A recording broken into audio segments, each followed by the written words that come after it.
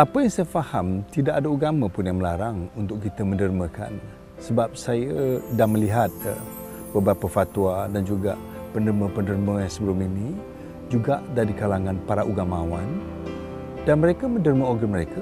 It's encouraged by our government and I have not come across any religious faith in Malaysia that says don't pledge.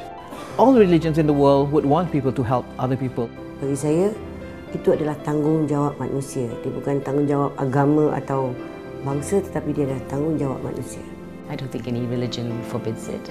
Tuhan menilai sejauh mana kita yang memberi, bukan kepada siapa yang kita bagi.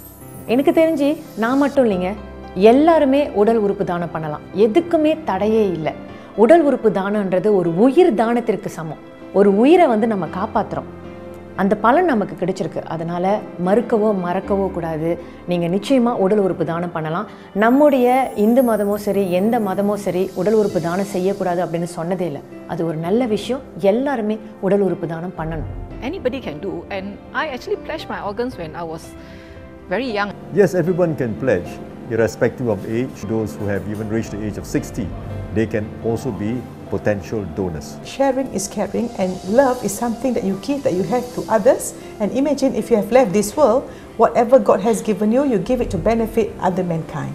யார் வேணுமானாலும் தானம் செய்யலாமான்னு கேட்டால் நிச்சயமா யார் வேணுனாலும் தானம் செய்யலாம் மனம் இருந்தால் மட்டும் போதும் நிச்சயமாக நீங்கள் இன்னொரு உயிரை வாழ வைக்க முடியும் அதற்கு மனம்தான் தேவை மதங்கள் தேவையில்லை Anybody can be a, an organ donor as long as you have um, healthy organs. If you want to help someone else, and we know we can by pledging, then why not do it?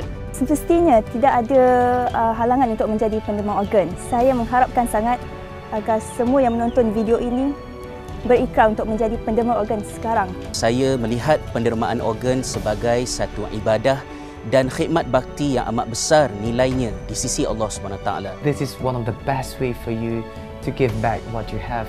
We need uh, more people who are compassionate and uh, who are able to play a role in organ donations.